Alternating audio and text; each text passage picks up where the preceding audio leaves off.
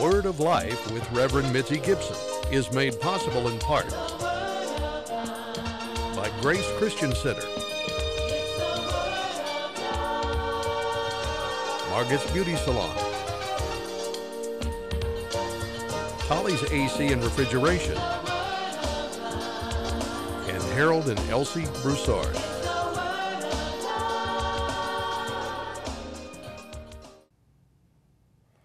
Welcome to the Word of Life. My name is Mitzi Gibson, once again with you. And I decided to speak the Word of God that is the one that feed us, give us strength and stamina. Every time that we speak the Word, every time that we read the Word, we are feeding our spirit, our soul, our soul beginning to grow and be fat. You eat breakfast, you eat lunch, you eat meal in the, in the night. The same way that you have to feed your body, the same way we need to feed our soul, our spirit. So we need to remember that the only way that we can feed our spirit, our soul, to maintain our body in good shape is through your word, through the word of God Almighty. If we don't read the word, if we don't uh, speak the word, we are just, you know, like a picture hanging in the, in the, in the wall. Because no matter if you're working, no matter if you try to go to the church, no matter whatever you do, but if you don't read in the word, that is your nutrition, you beginning to faint spiritually. You beginning to faint. And you beginning to feel like a, everything you do is not working the way it's supposed to be, but it's because you don't have been feeding your soul with the Word of God. So in the book of Romans, I'm going to be reading something that is very, very important for us to, to start the teaching. And it says in the book of Romans, chapter uh, 5, verse 8, But God showed us clearly proof his own love for us by the fact that, well, we were still a sinner, Christ, the Messiah, the anointed one, died for us. Jesus Christ came to die for us. Therefore, since we are now justified, we are justified and we have made righteous and brought into the right relationship with God our Father by Christ Jesus' blood, how much more our centering is that we shall be saved by him from the indignation and the wrath of God Almighty. For what if while we were as enemies of God, we were reconciled to God through the death of Jesus Christ, his Son, it is much more certain now that we are reconciled, that we shall be saved daily, daily, because we are reconciled with God our Father. We are saved daily, delivered daily from sin dominion. Sin has no dominion over us any longer. If we have been reconciled with God, that's part of the covenant. God cleans us. Our, our soul is cleansed. Our life is cleansed. So mind, we need to let the Holy Spirit transform us. Because it's very, very clear over here, they say. If we have been reconciled with the Father, and then we have been saved daily, delivered from sin dominion. In other words, if the devil trying to make you sin, you can say, No, I have been delivered from the dominion that you have over me, Satan. Now, sometimes it happens that we commit a sin. And I know that I have to do a lot because Satan is involved. It's not something that you wake up in the morning you say, I'm going to be sinning. No. You get up in the morning, you give thanks to the Lord because you are alive, and you say, Thank you, Lord, because you have saved me, I'm alive, I'm still breathing, Thank you, but my family, my children, everybody is alive. And it's all because Jesus Christ came to die for us, and we have received him as Lord and Savior. So, because we have received Jesus as Lord and Savior, our sin have been forgiven, our iniquity have been forgiven, our transgression have been forgiven. So, in that case, and then we see over here that the word says very clearly that we have forgiven our sin, iniquity, transgression, and sin dominion the sin. We have been delivered daily, every day. We have been delivered from sin dominion. Praise God. I love that verse. I love that verse. We are delivered daily from sin dominion. In other words, Satan has no part in your life. And if you sin by accident or purposely, and still you have the right to come to, in the book of First John say, if you sin, God is grace, full of grace and mercy and compassion to the, the forgive you sins that you commit that moment. All what you need to do is come to God and ask you, and ask Him to forgive you what you have done. It's almost say, you know, we. But remember that it's God Almighty that God give you the forgiveness of sin. That's why He sent His Son to die for us. And when you ask the Lord to forgive you, He said, Yes, my Son paid the price. Now, let me tell you this. Not because you ask God to forgive you, you are going to make, commit sin every time that you feel like it, purposely, because that is not, you can play with God. God knows when you try to play with Him. And praise God, don't even try to play with God because you are going to be the loser. The devil is going to use that against you. And it's nothing that God is going to be able to do because you're turning yourself loose to the hand of the devil. By lying and deceiving, try to lie and deceive God. No. God knows when you're purposely doing it. And He knows when you accidentally done it. And He knows when it's just what something that happened. But either way, ask God to forgive you.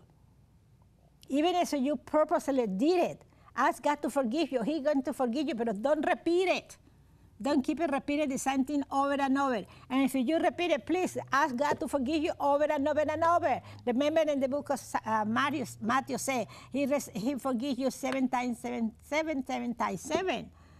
But I don't want to come to the face of God asking to forgive me for the thing that I had done three, four times in the row. That means that I have no self-control.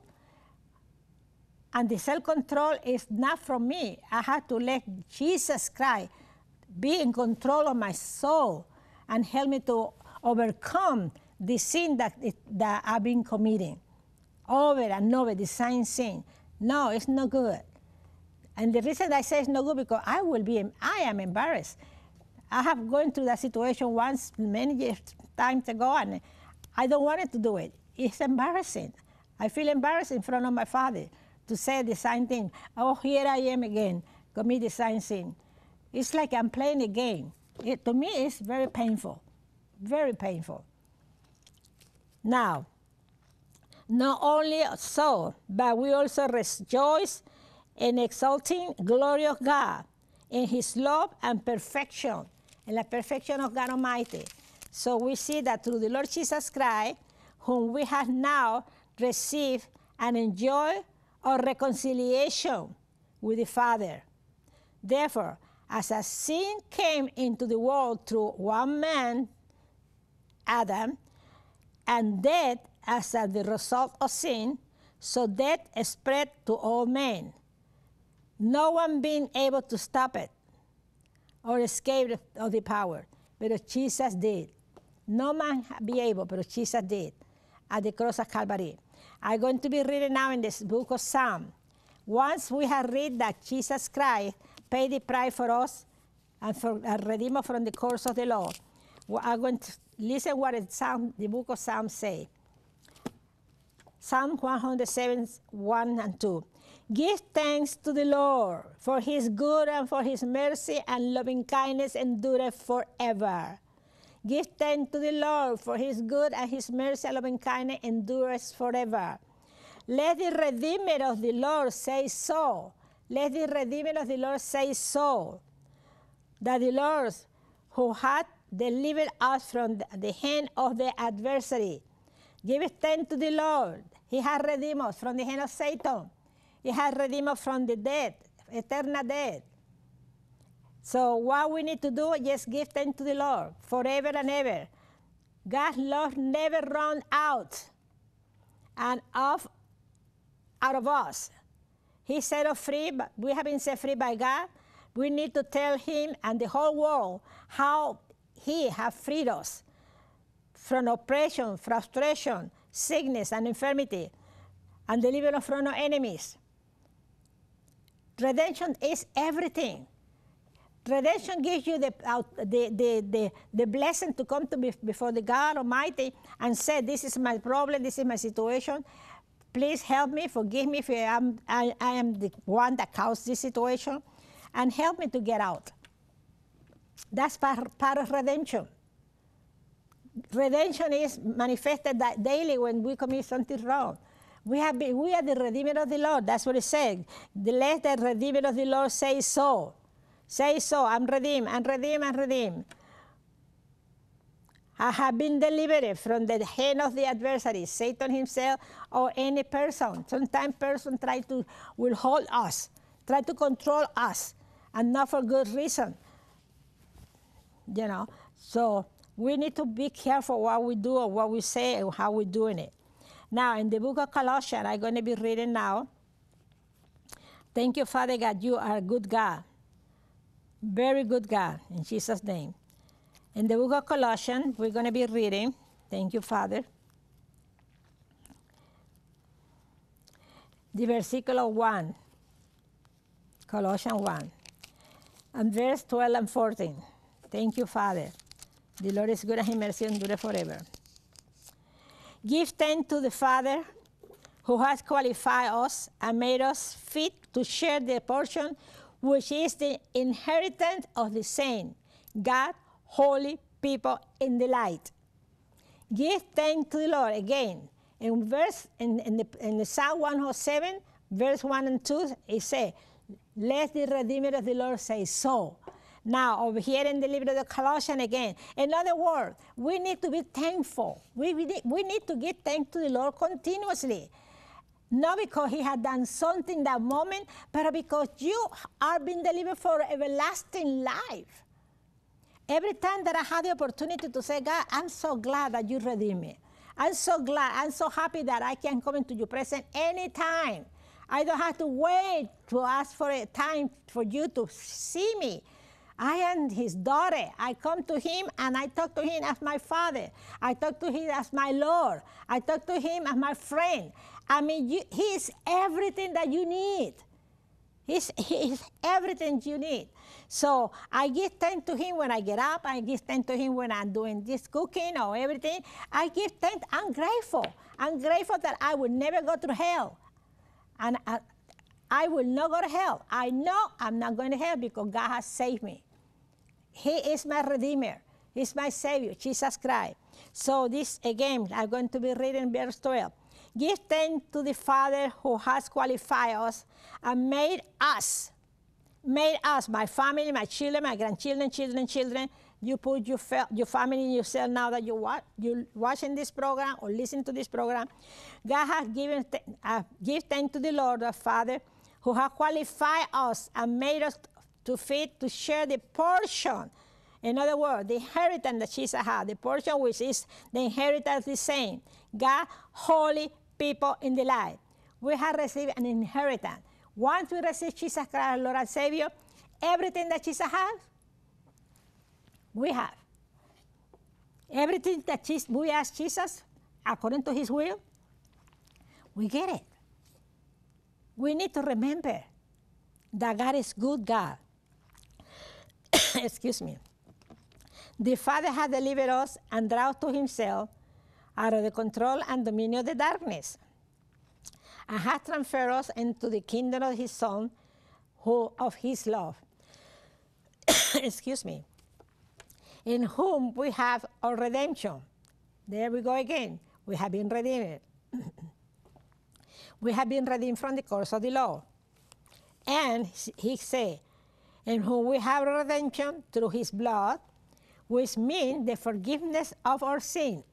All our sin have been forgiven. Now, he is the he is Jesus Christ is the exact likeness of the unseen God, the visible God, representation of the, invis- the visible.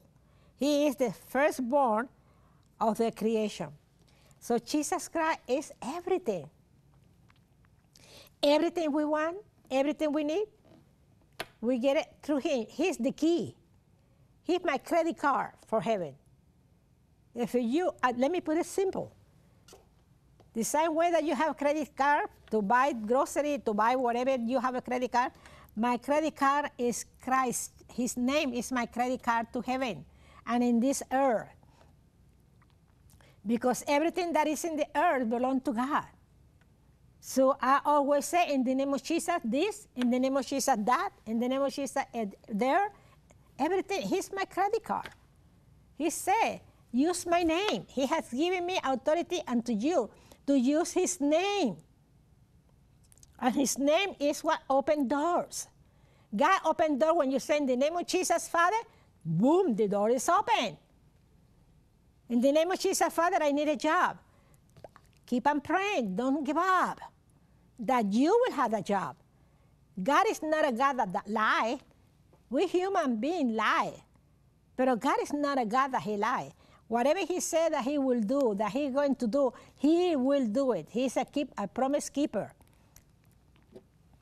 So what we need to do is just remember to believe that he is the one who forgives us all our sin. All our sin have been forgiven by him. The Lord our Father who make us strong enough to take part of everything bright and beautiful because Jesus is the light, he's beautiful, that he has for us who live in the light. He has given us everything, everything good, bright, beautiful. I mean, what else we need? Only Christ to give us everything. He has rescued us out of the darkness, out of the hand of Satan, out of the kingdom of darkness. He set us up in the kingdom of His Son, who He loved and sent to die for us and so much more. Now, we are free from going to the pit of hell. God, rid, God rid, get rid of all of sin once and for all. Once and for all, we are set free from sin. In the book of Ephesians, I'm going to be reading now. God is good. Thank you, Jesus. In the book of Ephesians, chapter 1, verse 7 say, In Christ Jesus, in Him, we have redemption. We're talking about redemption. The redemption, the redemption is the blood of Jesus Christ that paid the price for us. Let me tell you one thing: that life is in the blood. Your life is in the blood. And the life that Jesus gave was His blood.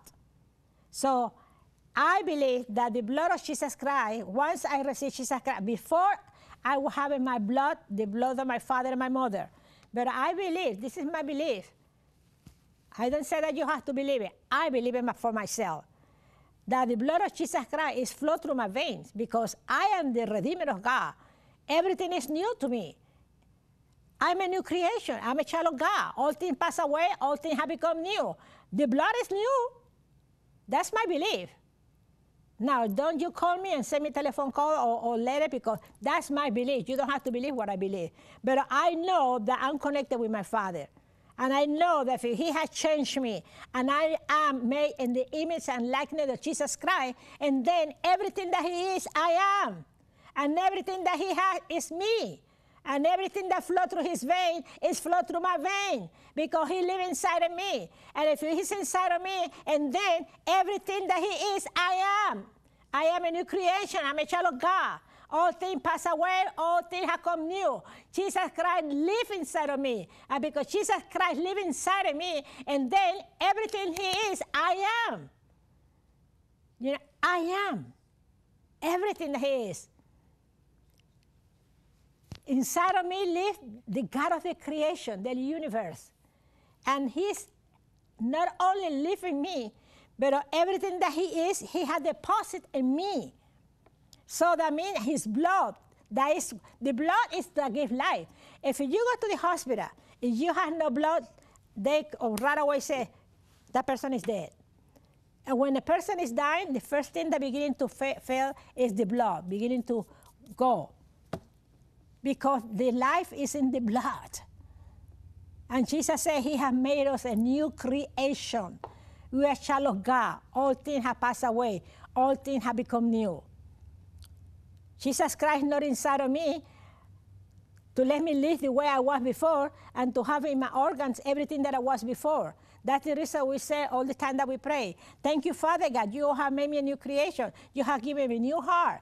I am free from heart attack. I will not have heart attack because you said that I am a new creation. You have given me a new organs. I believe I have a new organs. The enemy tried to keep me sick. I say I'm not sick because I see the sickness, but I don't accept it because God said that He delivered us from the curse of the law. And every sickness is a curse. And if Jesus lives inside of me, He's not sick. And therefore, I don't have to receive what the devil trying to put in me. I might feel it, I might see it, I might have it, but I don't have to receive it. I don't have to receive it. I fight it and I fight it and I fight it because I am a new creation. I am a new creation and I don't care what people say, you're still sick. No, the, the symptom is there, but I don't receive it. Why should I receive something that God already paid the, at the cross with Jesus Christ at Calvary? No. That will be injustice, the Messiah. Not receive what Jesus has done for me. I'm grateful. I'm very grateful that He is and, and continue to be inside of me. Amen. Now, in the book of Ephesians, he said, In him we have redemption, deliverance, and salvation. Salvation. Salvation is everything. Salvation is healthy. Salvation is freedom from the curse. Salvation is freedom from sickness and diseases, from poverty, everything. Salvation covers everything. When you say you have everything, everything.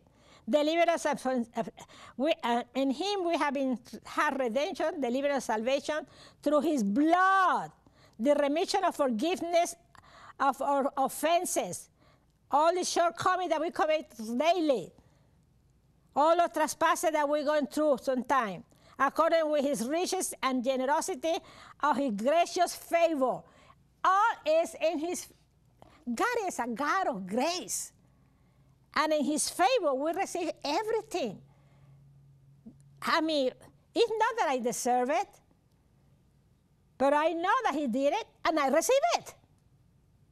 I don't deserve it, but He made me worth it. He redeemed it. He redeemed me. So I'm going to receive what He has paid for me. I'm not going to say I'm sick and I'm going to stay sick. No. That was many times. It takes time to you grow in that stage. Before I was sick, I, okay, I'm sick, oh, I'm sick. I'm, but now I get sick, I said, no, I had this symptom, but it's not going to stay with me. I fight it because Jesus took that sickness in the cross at Calvary. And I will not going to be ungrateful. Jesus did it, I receive it. He says mine, I accept it. He said that he healed me, I am healed. Simple than that. And people are going to tell you, you're still coughing. Yeah, but uh, it's not for me. It is not my cough. It is, I'm coughing, but it's a symptom that I don't want it. And I say, demon spirit of the coughs, I command you to get out of my body. I repeat it on and on that it has to go. Because greater is he that is in me than he that is in the earth. Satan is a liar and deceiver. He came to steal and, and, and, and kill and destroy. He's not going to kill me. He's not going to destroy me. I have been paid with the blood that Jesus Christ. He cannot touch me. He cannot touch you. Only if you open the door, he will do it. But if you know who you are, if you know who you come from, and who you know who is your father, and you know who is your redeemer, you walk in complete assurance that you are a child of God. And if you are a child of God, God, your Father, is not going to let you down. He already sent His Son. What else do you want? In the name of Jesus, everything is done. What else you want? He can die again. He already did it. He paid for you for redemption. For the curse is sickness, poverty, and everything that is in the earth that is a curse. The devil tries to put on you and in me. But we have to remember, I am being set free from the curse that is in the earth. I am a citizen of heaven. I am in the air, but I don't, don't belong to the air. I belong to God my Father. I'm walking in the earth, yes, but I'm protected by my Father God through Christ Jesus in the power of the Holy Spirit. I have to walk over here, but I'm protected. I'm protected. You should be protected. We have to claim what belongs to us. Don't play. You read the word, you accept it, you, com- you repeat it and believe it and believe it till you have it in your heart. You have to go on and on and on. I have learned on and on and on. It takes me time sometimes, but I keep on doing it on and on. When something is new and I have to look, look for the verse, I look for the verse, I say, This is what it says. And Jesus said, Whatever is written in the book of the law of Moses and the book of the prophet and the book of Psalm, it shall be fulfilled. So what I'm reading is exactly what he said that will be fulfilled. So I'm reading what he has given me, and it will be fulfilled in my life. It will be fulfilled. To God be the glory. I have not done nothing but be grateful and receive what he has done for me. I'm grateful. Father God, I pray for the people that are watching this program. If you they have not received Jesus Christ, Lord and Savior, the key for salvation and redemption, I ask them to pray with me this prayer. I am a sinner. I have done everything that a sinner can commit. I repent and I ask you to forgive me. I receive Jesus Christ, my Lord and Savior. Thank you, Lord Jesus, for dying for me. I now believe that I am a new creation. I am under your wing. You are my protector. You are my redeemer. And I receive that redemption. I receive your blood that you paid for me. Thank you for saving me, and thank you for being my God. In Jesus' name, so be it. Thank you, Father. Thank you, Father. Remember, redemption is a word that signi- it have a lot of significance. A lot of significance. It's not just a word, it's a lot. I bless you in the name of Jesus Christ, and your home, and your family, and your job. Whatever you need, may the Lord fulfill to you the desire of your heart. May the Lord continue to keep you safety, full of life, and most of all, in good relationship with Christ Jesus, in good relationship with the Holy Spirit, because He is your defender, He's your protector, He's your shield. In Jesus' glorious name. Remember that God sent Him because He loved you, and Jesus died because He loved you, and the Holy Spirit lives in you because He loved you. So what else we want? Nothing more but them the Father, the Son, and the Holy Spirit, and the angel that He sent to protect us daily. To God be the glory. God bless you. To the next time we see each other, be blessed, completely full of life, and good, good health. To God be the glory. Amen. It's the word of life. The Word of Life with Reverend Mitzi Gibson is made possible in part Grace Christian Center, Margaret's Beauty Salon, Tolly's AC and Refrigeration, and Harold and Elsie Broussard.